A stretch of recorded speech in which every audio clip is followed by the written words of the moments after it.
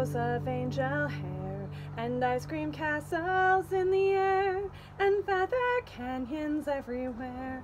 I've looked at clouds that way, but now they only block the sun. They rain and snow on everyone. So many things I would have done, but clouds got in my way.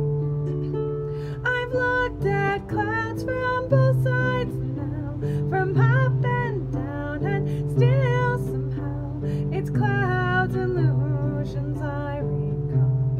I really